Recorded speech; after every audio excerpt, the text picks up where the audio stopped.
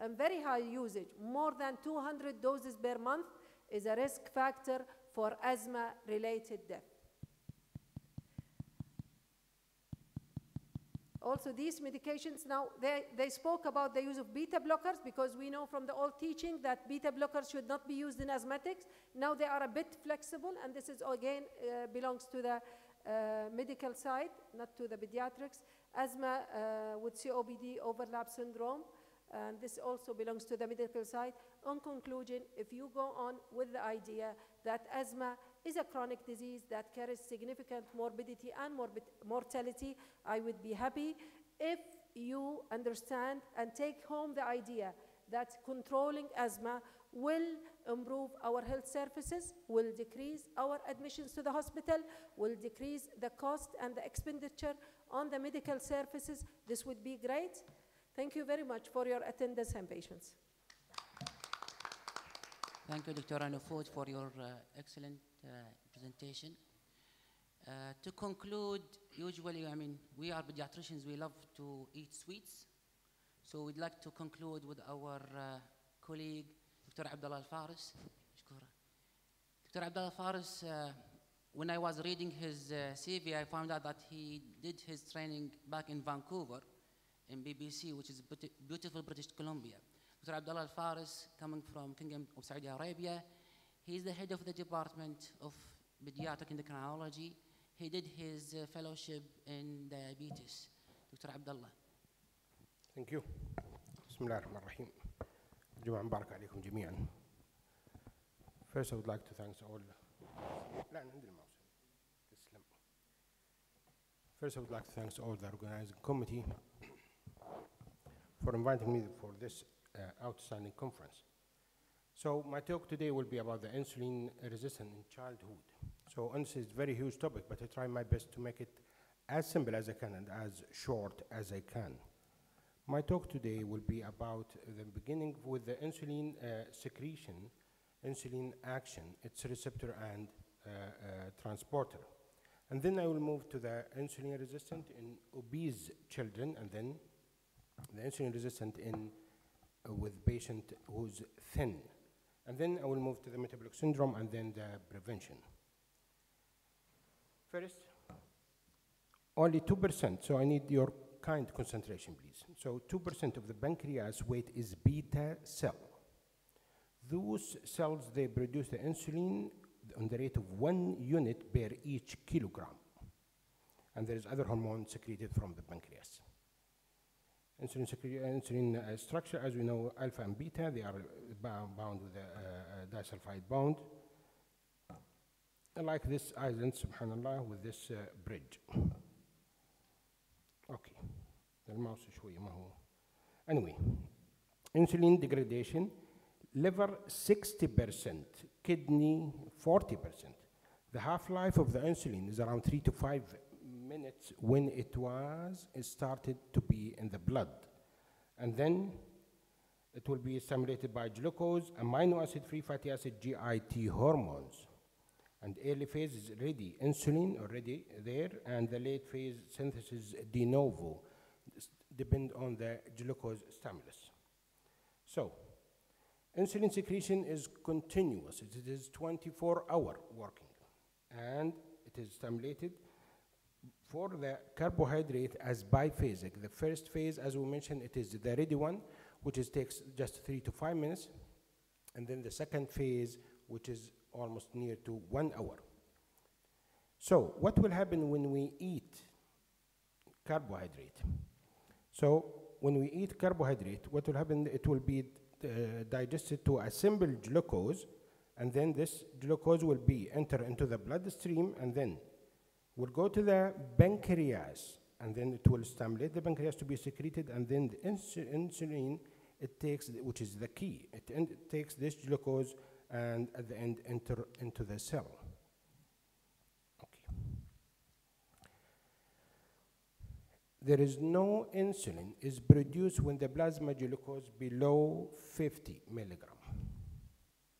Threshold glucose stimulated secretion is 100 milligram per deciliter with the balance of alpha with the, I mean gluco, glucagon from the alpha cell of the pancreas. The half maximum insulin response occur at 150 milligram. The maximum insulin response to glucose is at the rate, uh, I mean, at the concentration of 300. After that, the insulin will be as a plateau. So we remind ourselves with the secretion of insulin. So as we mentioned, when you digest the food, the, this glucose will go to the blood and then will enter directly without any help to enter through the transporter number two to the cells. This is the beta cell. This is the beta cell. Then it will be uh, uh, glycolysis, ATP to ADP ratio. At the end, there will be uh, closure of the potassium channel and then the depolarization of the cell membrane of the beta cell. And then what will happen, the calcium will be influx inside the cells and this, the insulin, which is the ready-made insulin, and then secreted to the blood. And this one, this insulin will take the glucose to the other tissue. There is other stimulus more than glucose, yes, there is amino acid, acetylcholine-free fatty acid, and other urea can stimulate the insulin, but with different mechanism. Okay, what factor affecting insulin secretions can be chemical, hormone, and neuron? I'll be fast a little bit. Stimulatory agent for the condition is hyperglycemia, amino acid, fatty acid, GIT hormones, acetylcholine, and sulfonylurea inhibitory agent of insulin secretion, somatostatin, norepinephrine and epinephrine. The alpha, alpha adrenergic is inhibitory for the insulin secretion, but the beta is stimulatory. Transporter of glucose, I mean of uh, uh, insulin, one and three all over the body, all over the tissue, and especially the neuron. This is a glucose basal transport directly without the help, and they don't need the insulin. So these transporters, they have high affinity to glucose and enter directly to the brain and the other important tissue. GLUT2, which is in the liver and beta cells, depend on the concentration. So if the glucose is high will be entered to the, the affinity or will be increased by uh, GLUT2 and then will lead to more secretion of insulin. And if the glucose is low, there is will be no glucose, I mean, there is no insulin, so depend on the affinity. Transporter four, the skeletal muscle, cardiac, and the adipose tissue. These, the transporter need is insulin dependent. Many individuals with insulin resistant, they are having a deficient in glucose transporter 4. Okay. This is the insulin. When it's bind to its alpha subunit, it will stimulate the beta alpha subunit and then tyrosine kinase, and then autophosphorylation of the other cascade, which lead to the, the end to the action of the um, mediate the uh, insulin uh, effect on glucose, fat, and protein. Okay, so this is the final physiology, and then we'll go to the other. This is the glucose here in the blood with the insulin, which is bind to the alpha subunit of the insulin receptor, the, blue, the yellow one, and then which activate the blue one, which is the beta subunit, and then this activate the tyrosine kinase, and this lead to autophosphorylation of the uh, insulin uh, receptor substance 1 and other cascade. And this will lead to more phosphorylation, and this will move that transporter, the GLUT4, from intracellular to the cell membrane to open the gate and the glucose will enter inside the cell and lead to the action of insulin to the adipose tissue, muscle, and skeletal. I'll be back to Oh, sorry, sorry, sorry.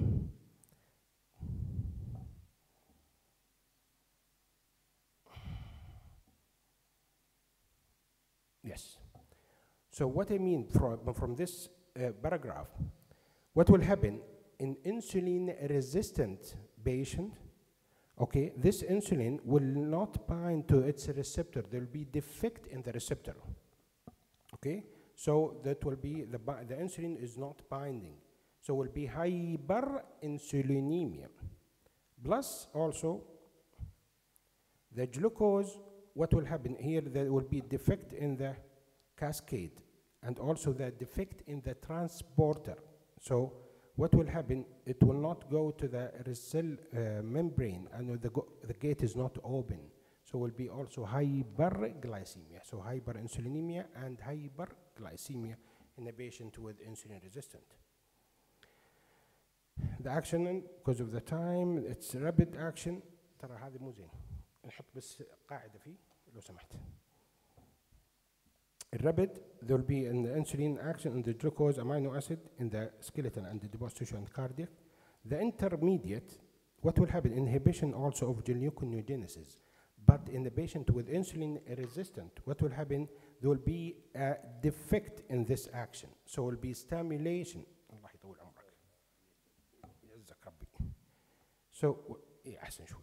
So what will happen? There will be a stimulation of the gluconeogenesis. So increase more in patient with insulin resistant, there will be more uh, uh, secretion of glucose from the liver. The delay action for the other organs and especially the lipid. So also the defect in insulin resistant, it will happen more secretion of the triglyceride. Okay, insulin resistant, defined as the ability of, in, of the cells of, uh, in, uh, uh, the ability of the cells to respond to the action of insulin transporting the glucose from the bloodstream into the muscle and other tissue. The cell became less responsive to insulin. This lead, as we mentioned, and this lead to hyperinsulinemia and defect in the cells. And this lead to decrease in the glucose uptake will be more hyperglycemia. Whose people in the risk? They are aging with a decrease in their transporter 4 and with age, family history, stress as a counter-regulatory hormones, like our children also with the iPad and everything, more uh, stress and uh, more uh, also cortisol, and the cortisol increase appetite, so will, they will eat more and leading to more obesity, cholesterolemia, hypertension, and other, and inactivity with hyper uh, uh, hypertension and, uh, and obesity, and the medication with the steroid, and the pregnancy with the la, uh, placental lactogen. Causes of insulin resistant. This is what we'll talk about now. This, this is the patient with insulin resistant without obesity. And these with obesity, and this the metabolic syndrome. So, obesity, the most common cause of insulin resistant, associated mainly with the post receptor abnormality and is also associated with decreased number of insulin receptors. So, the insulin is not bind to its receptor. المشكلة كلها في الكرش. فمور abdominal obesity is the more than peripheral obesity because of the more cytokines will be secreted and more triglyceride will be secreted. Anyway, more fat will ge- lead to more insulin, muscle, and liver resistant, more hyperglycemia. So what will happen? This is normally, as we mentioned before, this is the rate, the first phase of insulin secretion, and this is the second phase of insulin secretion. Okay. Patient with hyper, uh, I mean, uh, patient with type 2 diabetes or pre-diabetic with insulin resistant, what will happen? See, the first phase is lost. Loss of the first phase result in elevation of postprandial glucose. يعني أول حاجة يطلع الجلوكوز postprandial. This is the first sign of pre-diabetic. The delay second phase can result in post-meal hypoglycemia هذه late hypoglycemia. That's why the obese patient usually eat more and they feel hungry all the time. Clinical spectrum. I will be more fast. Sorry for that. Now, we will talk about obesity with insulin resistant. So, this is, can happen with the clinical manifestation of insulin resistant, acanthosis nigricans, and the other. And here is the pseudoacromegaly, and we'll talk about, about it now. So many complication, oh yeah, many, many, many complication. And be here, I will concentrate just only in this one. Okay, female, obese female, they are entering in the puberty early because of the increase in the free testosterone. So more, more bone increase in the advanced bone age, and then what will happen uh, to uh, uh, be, be- became more having more uh, puberty early. In boys with uh, a tissue more, what will happen that this uh, testosterone will be uh, aromatized to estradiol, and this estradiol will be inhibiting the gonadotropin secretion, so more hypogonadotropin. Simply, obesity lead to early puberty in female, delay puberty in boys. So, patient with insulin resistant hyperinsulinemia uh, affecting also the IGF-1 receptor, and this will lead to pseudoacromegaly and nigricans and polycystic ovary. So any patient with pseudoacromegaly with insulin resistant with normal IGF-1 and normal growth hormone, this is due to the insulin resistant. And this will lead at the end to the acne, uh, polycystic uh, ovary and male pattern baldness and more free androgen and irre- irregular, irregular period and infertility. Now we'll move to the genetic causes or insulin resistant without obesity, without obesity. This uh, syndrome, leprechaunism, with, conge- with congenital since birth, they have dysmorphic feature, acanthosis nigricans, large genitalia, fasting hypoglycemia, and postprandial hyperglycemia.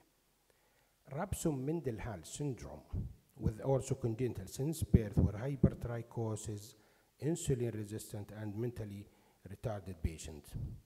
Lip- lipodystrophy muscles can be congenital or at adolescent, subcutaneous fat, either partial or total, with acanthosis nigricans. So anyone with acanthosis nigricans without obesity, think about these syndromes.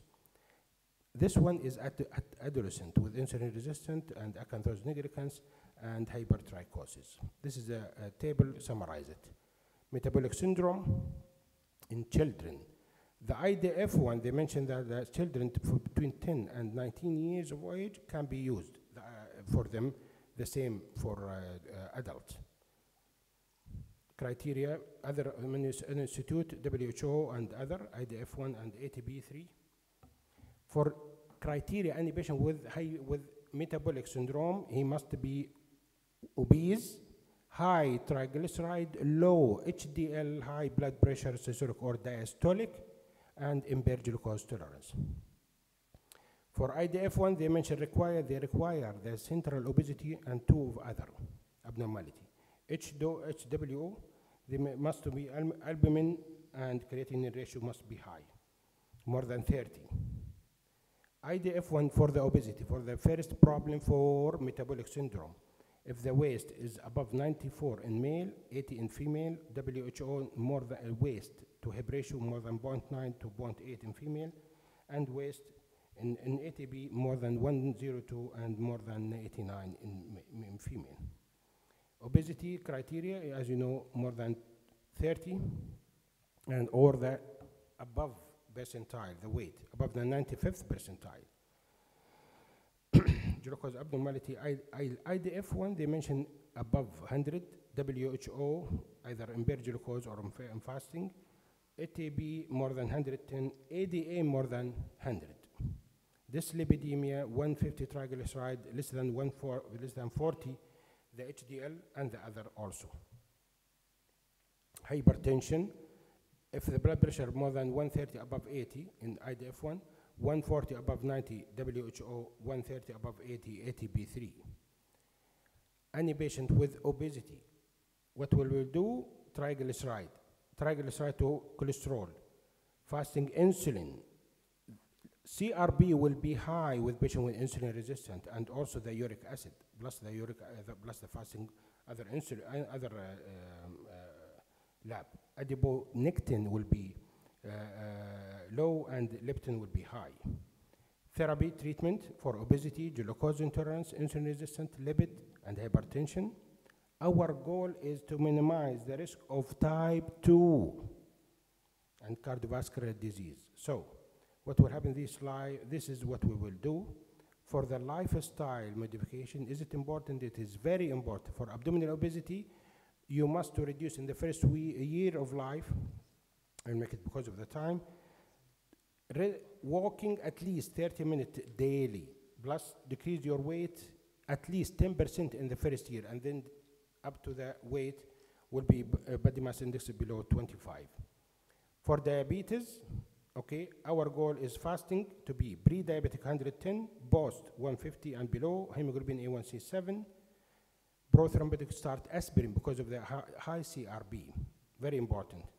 And for the control of blood pressure, your goal is 130 over 80. Lipid is very important to start statin and fibrate. Your goal is LDL below 100 and triglyceride below 150, HDL above 40.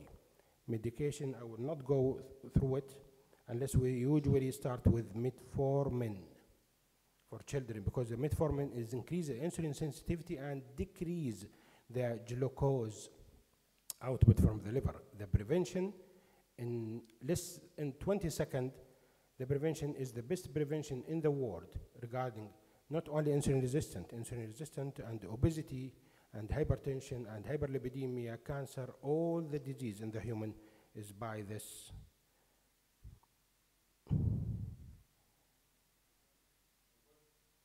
Bismillah.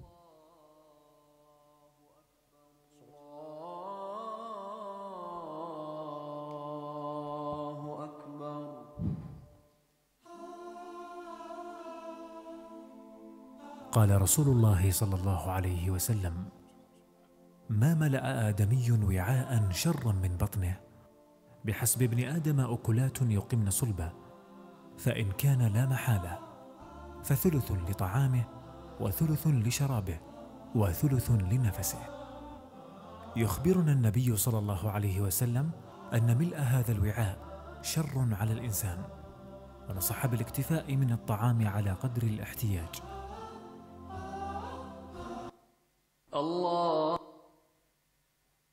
يعطيكم العافية شكرا Shukran, shukran to Abdullah for this very nice presentation and the prevention against type 2 diabetes.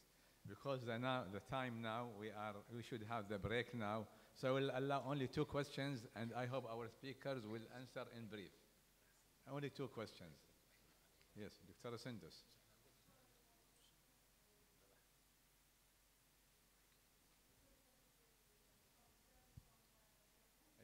Dr. Adib.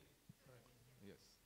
I want to ask about the, I want to ask, uh, to ask about the stem cell. Uh, uh, you take it, the stem cells peripherally for the uh, pancreatic, or you, uh, you from bone marrow? No, it's uh, peripheral blood-derived stem cells. We uh, mobilize the patients with GCSF for five days so we can increase the percentages of stem cells in the blood. And then we take it from the blood and then we put it on that machine that I showed you, which, is Yeah. called the, which is called the CliniMACS. Yeah, and uh, would you, uh, there is a protocol for chemotherapy for that patient? No, or- no, no, no. No chemotherapy, no myeloablation whatsoever for that patient. These are autologous stem cells. You Yeah. don't give the patients chemotherapy for this protocol. Yeah, and uh, when would you expect to see the response?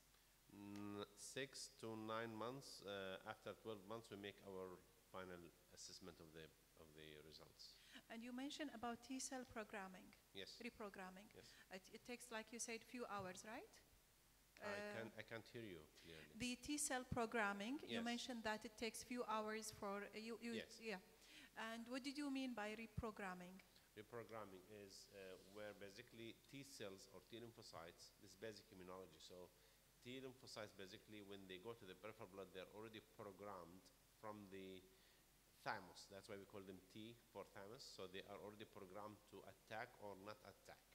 So they should know the difference between self and foreign antigens. However, there's a small percentage of T cells that basically lift the thymus and they are armed to attack beta cells in the pancreas.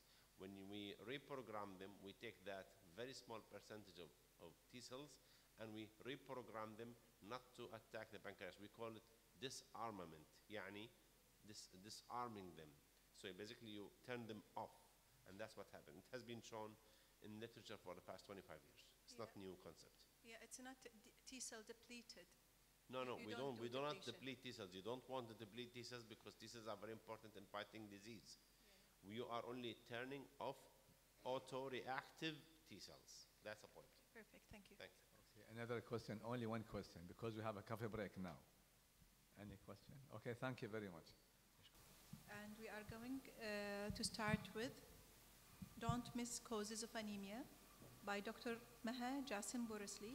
Dr. Maha is a consultant pediatric hematologist in NBK Hospital and uh, for hematology and oncology.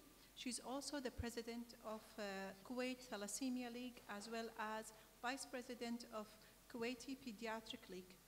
She's uh, actually interest, her ma- um, major interest in leukemia researches hemoglobinopathies. Thank you, Dr. Maha, for being here today and uh, welcome to our conference. Thank you for this nice introduction. This session is going to be interactive, so don't um, expect me. Um, you should be part of my talk. So I'm going to be very fast since it, the, the clock is ticking. Can you reverse it or add five minutes? I appreciate it. I lost 20 seconds already. So today we're going to talk about anemia. The name is quite large. It's as if you're speaking about one chapter of medicine. So I'm going to touch base on all um, causes of anemia uh, because we've seen many, many doctors, uh, they struggle with anemia whenever it presents uh, in the casualty and they are stopped uh, after they, they found out it's not iron deficient anemia. So let's go. So which one, right or left? As a definition, the definition, it denotes that the name consists of two words, and it means without, and him, uh, it means blood. Actually, this uh, lecture is the basic uh, lecture which uh, I give for the uh, KIMS candidate who comes to our department. What we mean about the anemia, it's a pathological deficiency uh, for the oxygen carrying component of the blood. And in cases of severe uh, anemia, this can lead even to uh, hypoxia, hypotension, and shock. So it's not something um, you know easy. Uh, anemia, it's really quite large, but what this is what we mean in comparison normal to anemic blood. So first we'll talk about symptoms and, and signs.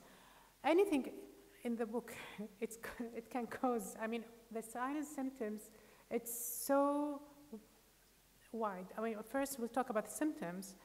Um, generally, pa patient will come uh, complaining of fatigue and feeling uh, ill. The appetite will change, and when you see the uh, uh, the constellation of symptom and sign, it can cover to the all all uh, system of the body. Now, for the causes of anemia, basically, it's either it's because of increased loss, increased destruction, or there's a problem with production. So we touch base on each one. First, the anemia related to production. This happens when you have abnormal production or low or no production, uh, for example, aplastic or hyperplastic anemia. Now, for the, uh, uh, the RBC production, abnormal production, this happens either due to malignant causes or benign. The malignant causes is due to anemia. The benign, it's related either to the abnormal hemoglobin production, as in thalassemia sickle, RBC membrane defects, in spherocytosis and elliptocytosis, abnormal enzyme production in G6PD and pyruvate kinase deficiency, and the abnormal shape in sideroblastic uh, anemia. Now, for the increased hemolysis or increased destruction, this can be caused, uh, uh, caused by the either hereditary causes, for example, membrane defect and spherocytosis, or due to ab abnormal metabolism in the G6, G6PD or hemoglobinopathy. For the acquired, it could be due to autoimmune, warm or cold, uh, alloimmunization, a drug infection, chemicals secondary to liver disease, or uh, for, uh, and the uh, last but not least, the paroxysmal nocturnal hemoglobinuria. And uh, it could be the, the third cause, it could be due to blood loss.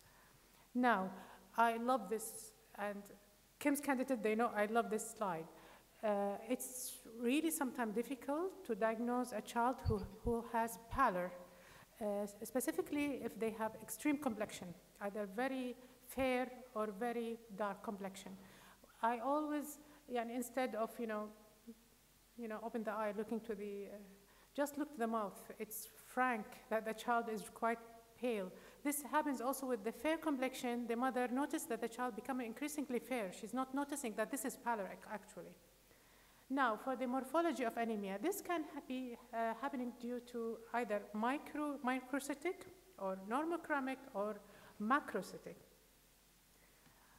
For the normochromic, it could be due to anemia for chronic diseases, uh, due to renal uh, failure, endocrine failure, marrow failure, acute blood loss uh, as a cause. Now, when we talk about RBC production, all of you know this happens, uh, uh, uh, the erythroid precursor in the bone marrow.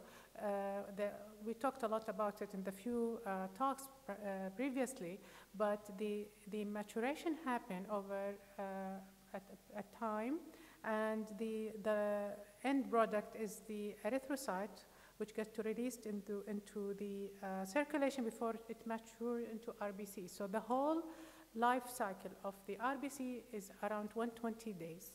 The RBC, it has a unique shape that it allows the, uh, the RBC to move uh, inside the capillary very efficiently and uh, to, uh, be, to deliver the uh, oxygen and also discourage phagocytosis. Uh, this is the normal blood smear, and this, this happens in the bone marrow. And the end, as you can see, that the, the, the, the, the down, you can see down there, it's the products that you're to see in the blood. All other components you're not supposed to see to be seen in the blood. Whenever you see them, you suspect something, uh, you know, not uh, nice happening in the blood. Now, this is what happens in the general circulation. The RBC get to be uh, produced, uh, it goes to the circulation, stay 120 days, and then it will be, uh, their life it will be ended by phagocytosis, and then some of the component will be reabsorbed and used, and some of them it will be uh, released uh, and uh, get secreted from the body. And uh, it's important to know that uh, many organs play a vital role in production of RBC, for example, the role of erythropoietin. Uh, uh, at the top left, you can see the progenitor of the erythrocyte, and then the last, uh, uh, you can see the, the, the, as the cell differentiate, the shape changes, and even the size, and there is a big difference between the normoblasts and the mature RBCs. Important to know the site of blood production in the, uh, in the, in the child, as the child grows, it's different. For example, in the fetus, it get been, it, the blood's being produced by many uh, area of the body. For example, in the first uh, month of gestation, different than, than the last month of gestation, when being taken over basically by the uh, bone marrow. But when the child gets to be born, all the uh, bone marrow will produce uh, blood. But, but as the child grow up, this will be restricted to some areas, not all, all bones will produce, uh, uh, you know, RBCs.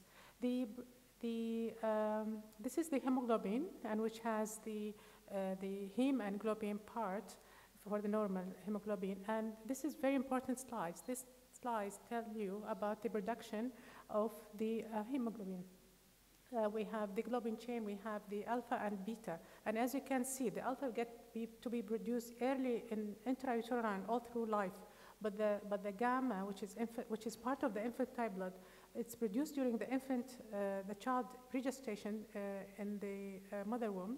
You can see the gamma, and then it get to increase uh, by the six month to be, uh, to be replaced by the beta chain. This slide is important to, to tell you when, uh, when you take any investigation for ch the child, what to expect. So this is the normal. So if you take a blood uh, sample and do HbA1c for a child who is at birth, you are expecting to see he's having infantile uh, um, uh, hemoglobin in comparison to when you take it uh, more than one, one, one year onwards. You will see disappearance of the infantile and then be re- replaced by the adult hemoglobin.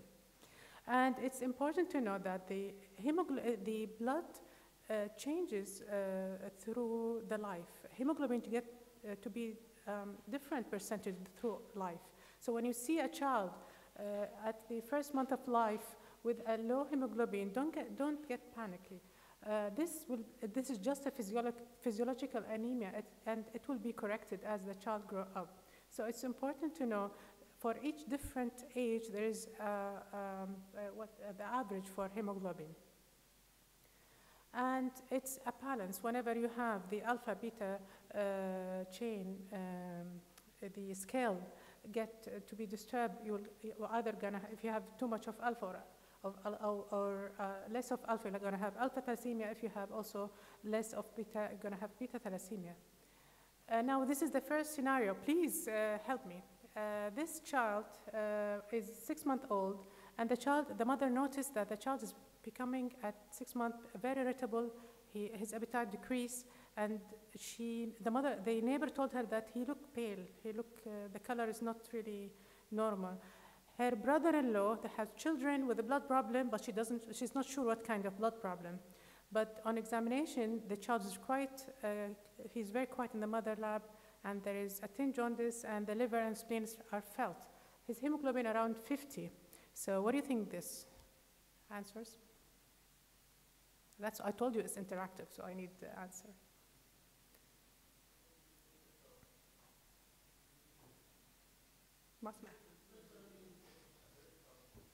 Yeah. No, I need suggestion. I'm, I'm just giving you. It is? Uh, yeah, Okay, I- since I don't hear you, then I'm going to answer. It- Yeah, but uh, what I'm telling, I'm giving you clues. So the clue in this history, I- I'm giving you the history.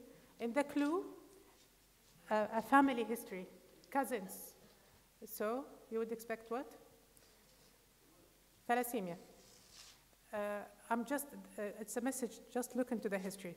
So thalassemia is, is one of the causes of uh, uh, hereditary anemia, where you have both parents are uh, carrier uh, of, uh, of, the, of the thalassemia, and then we're going to have one, at least one in four statistically to have a thalassemia patient. And the thalassemia, they, they have this very small RBC that doesn't live for a very long time, and they end up having uh, to be treated with a regular blood transfusion. And they all have this feature because the bone marrow grows in their body and they have specific feature. And because they have a, a lot of uh, uh, RBC, uh, they got to be fractured and into the circulation, they have plenty of iron and then get deposited into the whole body and they will have a lot of iron overload. So now for the scenario, the second scenario, please look to the clues. I have somebody who should answer. Three-year-old, at, um, and the, the- they went to a holiday, and they went ca- when they came back from the other country, the child was in severe pain, crying, and, and somebody has to answer here. And uh, there's no history of trauma, and the mother recall many incidents uh, as such.